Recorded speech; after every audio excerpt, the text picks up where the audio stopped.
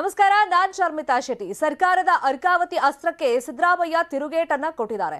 ಅಕ್ರಮ ನಾವು ಮಾಡಿಲ್ಲ ಅಂತ ಹೇಳಿ ಸಿದ್ದರಾಮಯ್ಯ ತಿರುಗೇಟನ್ನ ಕೊಟ್ಟಿರೋದು. ಅರ್ಕಾವತಿ ಡಿನೋಟಿಫೈ ಆಗಿದ್ದು ಯಡಿಯೂರಪ್ಪ ಅವರ ಅವಧಿಯಲ್ಲಿ. ಈಗ ನೋಡಿದ್ರೆ ಬೊಮ್ಮಾಯಿ ಸದನದಲ್ಲಿ ತಪ್ಪ ತಪ್ಪಾಗಿ ಮಾಹಿತಿಗಳನ್ನ ಕೊಡ್ತಾ ಇದ್ದಾರೆ ಅಂತ ಹೇಳಿ ಸಿದ್ದರಾಮಯ್ಯ ಗರಂ ಆಗಿ ಇವತ್ತು ಪ್ರತಿಕ್ರಿಯೆಯನ್ನ ಕೊಟ್ಟಿದ್ದಾರೆ.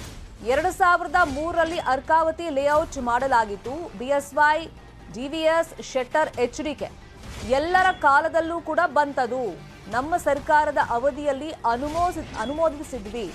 ಆ ಸುಪ್ರೀಂ ಕೋರ್ಟ್ ಮಾನದಂಡದ ಪ್ರಕಾರನೇ ಅನುಮೋದನೆಯನ್ನ ಕೊಟ್ಟಿರೋದು ಸುಪ್ರೀಂ ಐದು ಟೀಮ್ ಮಾಡಿ ಈ ಬಗ್ಗೆ ತನಿಖೆಯನ್ನ ಮಾಡಿ ವರದಿಯನ್ನ ಕೊಟ್ಟಿದೆ. ಬಿಡಿಎಗೆ ನೀಡಿದಂತ ವರದಿಗೆ ನಾವು ಅನುಮೋದನೆಯನ್ನ ಕೊಟ್ಟಿದ್ವಿ ಅಂತ ಹೇಳಿ ಸಿದ್ದರಾಮಯ್ಯ ಸಮರ್ಥನೆಯನ್ನ ಕೊಟ್ಟಿದ್ದಾರೆ.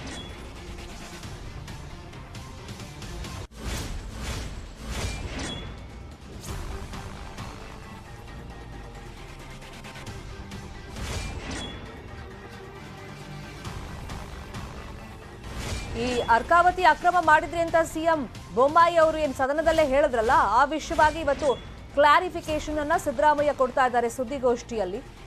ಅಕ್ರಮವನ್ನ ನಾವು ಮಾಡಿಲ್ಲ ಅಂತ ಹೇಳಿ ಸಿದ್ದರಾಮಯ್ಯ ತಿರುಗೇಟನ್ನ ಕೊಟ್ಟಿದ್ದಾರೆ. ಇದರಲ್ಲಿ ಎಷ್ಟು ಜಸ್ಟಿಸ್ ಕೆಂಪಣ್ಣ ಅವ್ರ ರಿಪೋರ್ಟ್ ಹೇಳ್ತಾ ಇದ್ರೆ ನಾವು. ನಾವು ಮೈ ಬರ್ತಿದ್ರಿ ಜಸ್ಟಿಸ್ ಕೆಂಪಣ್ಣ ನೀವೇ ಕಾಂಟ್ರಾಕ್ಟರ್ ಕೆಂಪಣ್ಣ ಅಲ್ಲ. ನಿಮ್ ಕೈ. ನಿಮ್ ಕೆಂಪಣ್ಣ ಅಲ್ಲ ಅದು.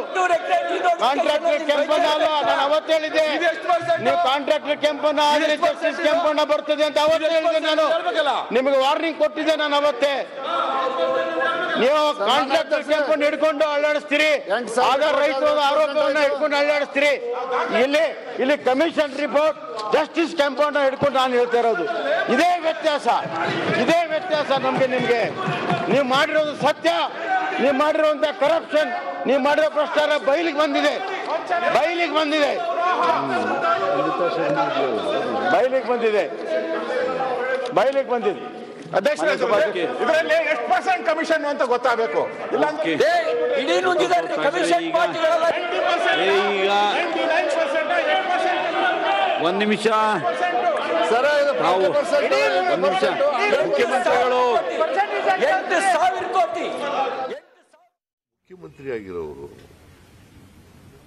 ಜವಾಬ್ದಾರಿಯಿಂದ ಉತ್ತರ ಕೊಡೋದು ಬಿಟ್ಟು ಸಿದ್ದರಾಮಯ್ಯನವರ ಕಾಲದಲ್ಲಿ ಎಂಟುನೂರ ಐವತ್ತೆರಡು ಎಕರೆ ಡಿನೋಡಿಫೈ ಆಗ್ಬಿಟ್ಟರೆ ಸ್ಪೆಸಿಫಿಕ್ ಬರೆದಿದ್ದಾರೆ ಕೆಂಪಣ್ಣವರು. ಸಿದ್ದರಾಮಯ್ಯನವರು ಒಂದೇ ಒಂದು ಎಕರೆನೂ ಕೂಡ ಡಿನೋಟಿಫೈ ಮಾಡಿಲ್ಲ.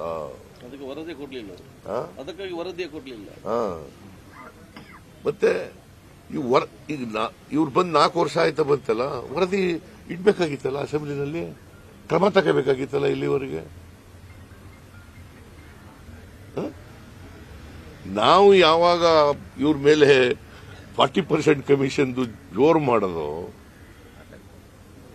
ಇವರು ಹಗರಣಗಳೆಲ್ಲ ತೆಗಿಯಕ್ಕೆ ಶುರು ಮಾಡಿದ ಮೇಲೆ ಅದು ಮುಚ್ಕೊಳ್ಳೋಕ್ಕೋಸ್ಕರ ಇದನ್ನ ಈಗ ಮಾಡಕ್ ಹೊರಟಿದ್ದಾರೆ ನಾನು ಅದಕ್ಕೆ ಅನೇಕ ಸಾರಿ ಹೇಳಿದ್ದೀನಿ, ಅಸೆಂಬ್ಲಿನಲ್ಲೂ ಹೇಳಿದ್ದೀನಿ, ಹೊರಗಡೆನೂ ಹೇಳಿದ್ದೀನಿ. ಆಯ್ತಪ್ಪ. ನೀವು ಅಲಿಗೇಷನ್ ಮಾಡಿದಿರಿ ನೀವು ವಿರೋಧ ಪಕ್ಷದಲ್ಲಿ ಇದ್ದಾಗ ನೀವು ಯಾವ ಇಶ್ಯೂಗಳನ್ನ ರೈಸ್ ಮಾಡಲಿಲ್ಲ ಈಗ ರೈಸ್ ಮಾಡ್ತಾ ಇದ್ದೀರಿ. ನಿಮ್ಮನ್ನ ನಿಮ್ಮ ಅಪರಾಧಗಳನ್ನು ಮುಚ್ಕೊಳ್ಳಿಕ್ಕೋಸ್ಕರ ರೈಸ್ ಮಾಡ್ತಾ ಇದ್ದೀರಿ. ಆಲ್ ರೈಟ್ ಹಿಂದೆ ಎಲ್ಲ ಬಿಟ್ಕಾಯಿನ ಹಗರಣ ಇತ್ತು. ಅದು ಮುಚ್ಚಾಕಿದ್ರಿ ರಿಕ್ರೂಟ್ಮೆಂಟ್ ಹಗರಣ ಬಂತು. ಅದನ್ನು ಮುಚ್ಚಾಕ ಕೊಟ್ಟಿದ್ದೀರಿ ಇದರದೇ ಪಿ ಎಸ್ ಐ ರಿಕ್ರೂಟ್ಮೆಂಟ್ ಹಗರಣ ಆಮೇಲೆ ಫಾರ್ಟಿ ಪರ್ಸೆಂಟ್ ಕಮಿಷನ್ ಬಂತು. ಅದು ಮುಚ್ಚಾಕ ಕೊಟ್ಟಿದ್ದೀರಿ